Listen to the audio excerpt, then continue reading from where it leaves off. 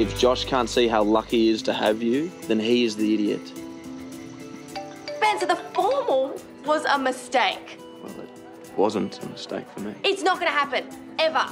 The wedding's only a few days away and nothing's organised. Who said nothing's organised? A real bride needs a, a proper wedding gown. Irene's in charge of the dress, I'm in charge of the rest. Oh, are you sure?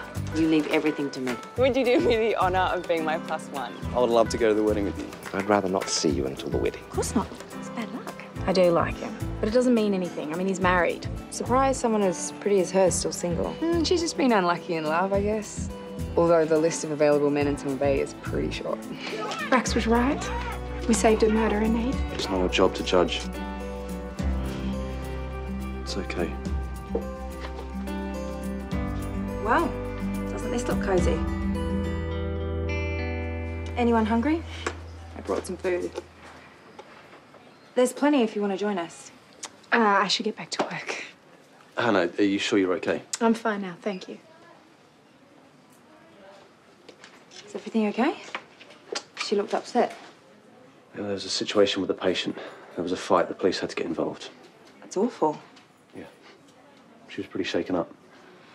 You too, by the looks of it. It's been a tough day. I'm, I'm over the place, to be honest. Should we take this home? Yeah, okay. Uh, So- Sophie, wait, wait. You know, that's all it was with Hannah. Nate, we talked about this. Fine. You're comforting a colleague. I get it. Yeah, but Look, I just think you have to be careful. Someone like Hannah, you said it yourself. She's had a rough time lately, and now this.